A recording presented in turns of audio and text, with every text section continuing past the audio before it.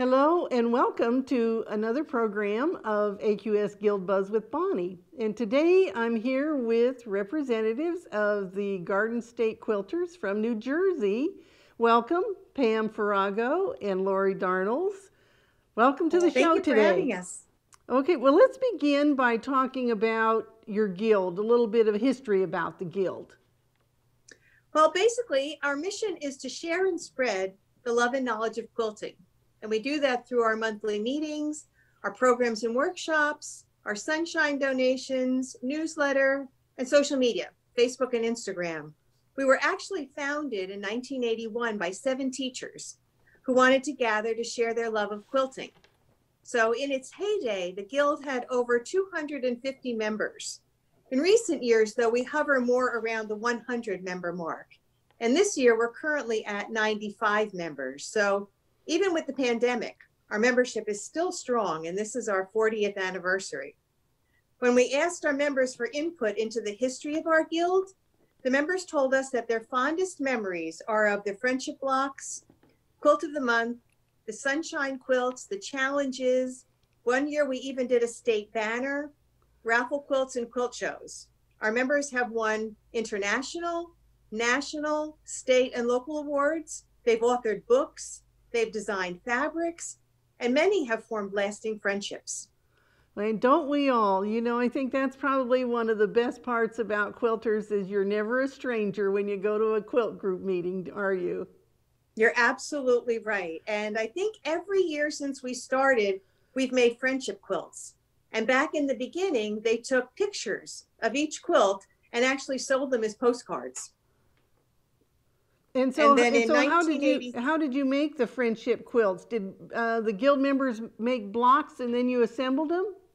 Yes, that's exactly what happened. We had a theme, all made blocks, handed them into the committee, and then they would assemble them into a quilt top, have it quilted and bound. And then usually we raffle that quilt off at the strawberry supper at the end of the year. And then in um, 1983, there was an edition of the Ladies Circle Patchwork magazine, and that featured quilts made by several of our members also. And then I believe every year they would have a challenge quilt. A theme was chosen, members would create the quilts, and then they'd hang them on a clothesline at the strawberry supper, and um, members would vote, and then awards would be given for those quilts.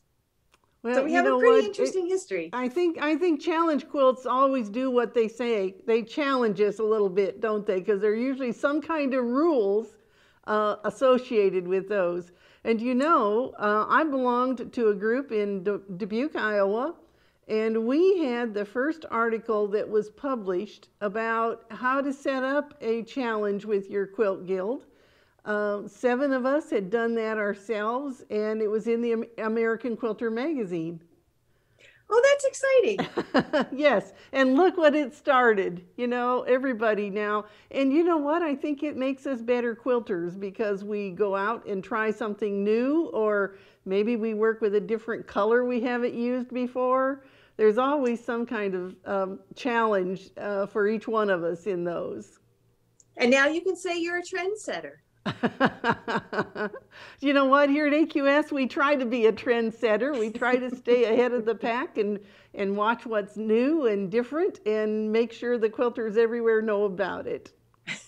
You're doing a good job. Uh, well, I know that you do uh, a lot of sunshine quilts that you do for other organizations. So let's talk a little bit about those.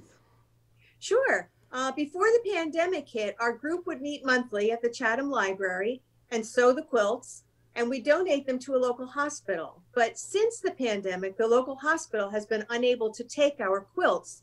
So the Sunshine Committee just went out and found new hospitals to donate the quilts to. And we also started donating quilts to Meals on Wheels recipients, which was something new for us this year. And we have received the loveliest thank you letters from the Meals on Wheels recipients as a result of getting those quilts. We gave them to them in October, so they were nice and toasty for the winter months. Um, we also have a very nice relationship with the Daughters of the American Revolution.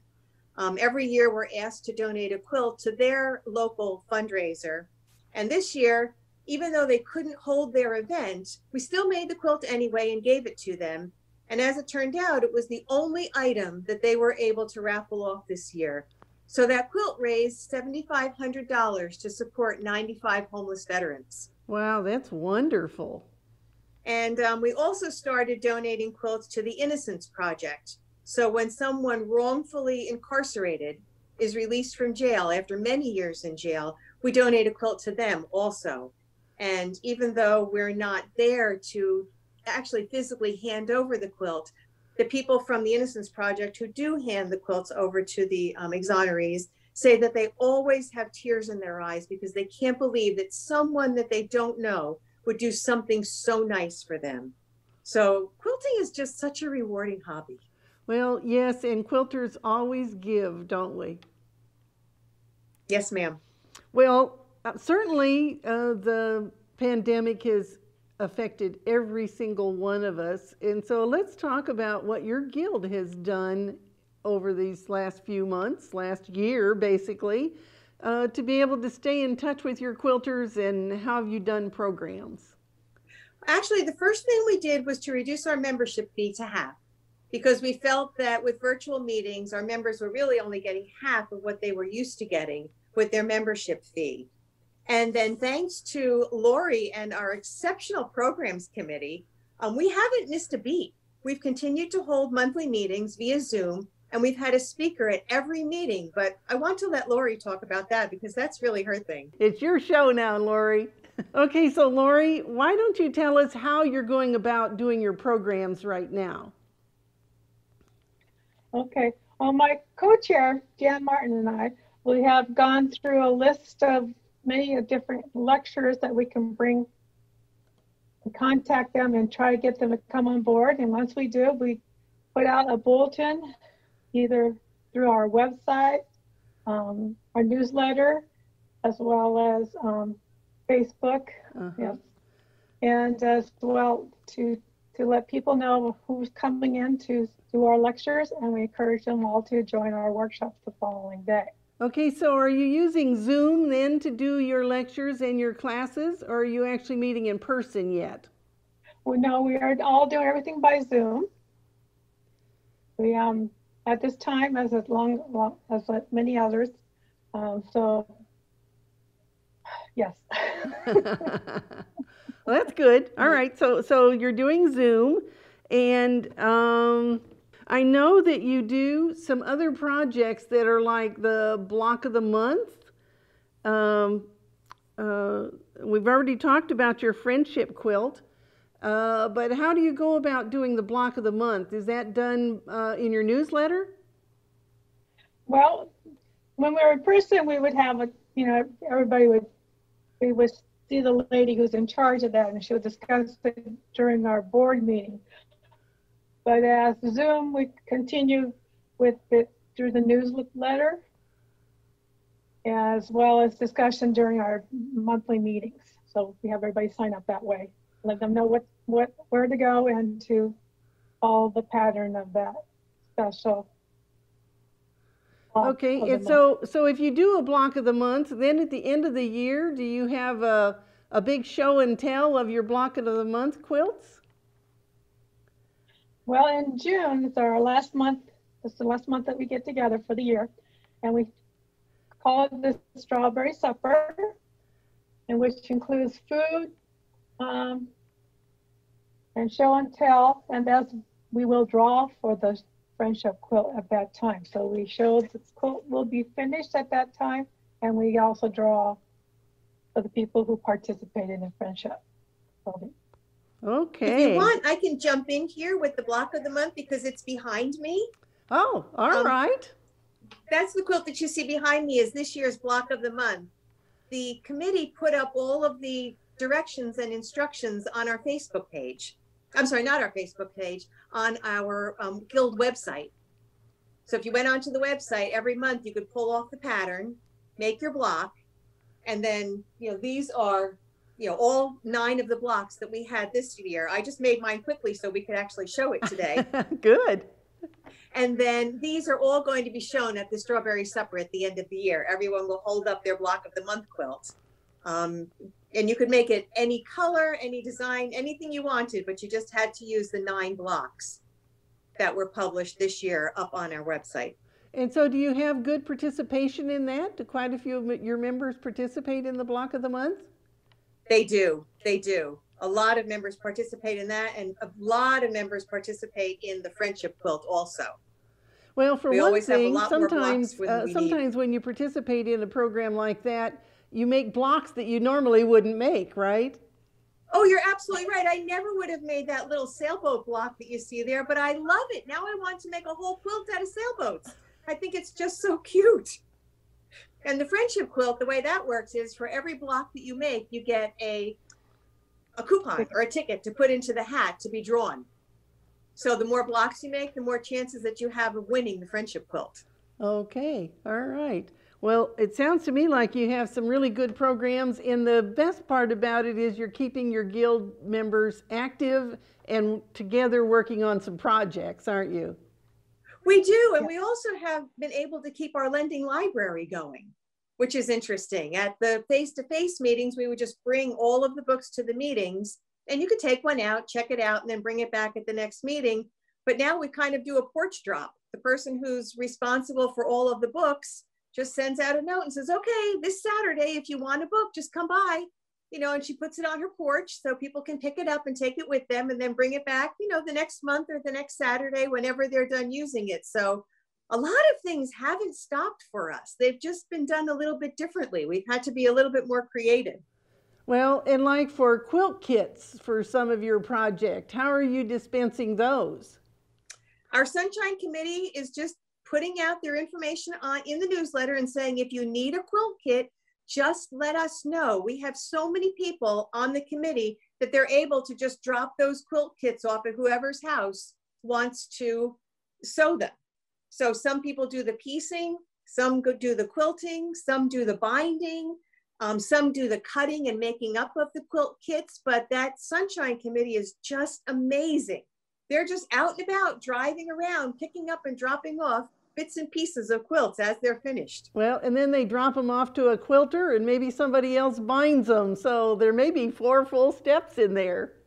Yes, there may be multiple people who have touched that quilt, but it gives them the opportunity also to see each other because they, you know, they kind of get together outside, they've got their mask on, and then people don't feel quite so alone. Well, yes, and, and hopefully in the next few months we'll get to be able to meet together. And won't that be fun? That will be so much fun. We're hoping in New Jersey that things will open up enough that we'll be able to have our June meeting in person, our strawberry supper. You know, in the past, it was get together, the, oh my goodness, the ladies would make such wonderful food. We'd eat, we'd talk, we'd have a super show and tell. And it was just a nice way to get together before our summer break. So this year, we're hoping that we can do a mask wearing, socially distant, face to face strawberry supper where we can actually just see each other and see the quilts, you know, face to face and um, just kind of get together and have a little fellowship before we we break for the summer. So that's the goal anyway. Fingers crossed. All right. Well, I think we all have our fingers crossed to be able to do that. Well, I want to tell you a little bit about the quilt that I have hanging behind me. Uh, it, it actually is just a quilt top. I have this class that I call the Exquisite Scrap class. And you'll notice that it's all pink and blues. Well, somebody said to me when I said I was going to make a scrap quilt, you can't go buy fabric for a scrap quilt. And so you don't tell a quilter that, do you? so I went to a little Amish store in Kalona, Iowa, and I bought a fourth of a yard. This was back when they would cut a fourth of a yard, a fourth of a yard of fabric of every pink and blue they had on the shelf. And I made two quilts uh, like this, and I still had pieces left over for some other projects. Um, but this program is being sponsored today by the AQS Let's Quilt series of classes that we're doing, and I'm teaching those. Class number one was uh, the basics. We did a nine patch with sashing and borders and a binding. The second class was quilting with triangles, and you learn how to use or how to make half square triangles, quarter squares, and flying geese. And now this one is the exquisite scrap. And there may be some people, because this is really geared for beginning level quilters, beginning to intermediate, may not have enough fabrics to be do, able to do a scrap. So I encourage them to go buy two yards of one fabric that's light and use that every place that you use the light fabric. And then the rest of their fabric should fall in the medium and dark uh, values. Um, but if people want to participate in this, it will be a free class and it will be shown on YouTube. The AQS channel on YouTube is Quilt TV. And you might go out, check it out right now. And if you're there, you hit that subscribe button, and every time AQS uploads a new video to Quilt TV, you'll get an email that lets you know what was uploaded, and you can go see it right then. So it won't get uploaded until it's all finished and ready to go. We're just ready to start taping this program, and so watch Quilt TV on YouTube. And you can also just Google quilttv.com. It'll take you there as well.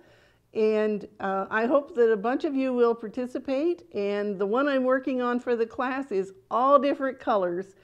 You need 150 four inch lights, mediums, and dark. So you need 450 squares all together. Takes a while to cut those. So if you want to start cutting, you can do that at any time, and then you'll be all set when we're ready to do the program. So, well, I want to thank you ladies for participating in the AQS Guild Buzz today. It's always fun to find out what the quilters all over the country are doing and how you're staying in touch. And this is the way that AQS can stay in touch with you. And we hope you'll join us again for another program of the AQS Guild Buzz with Bonnie. Thank you, Bonnie. Thank you for inviting us. that was good. Thank you.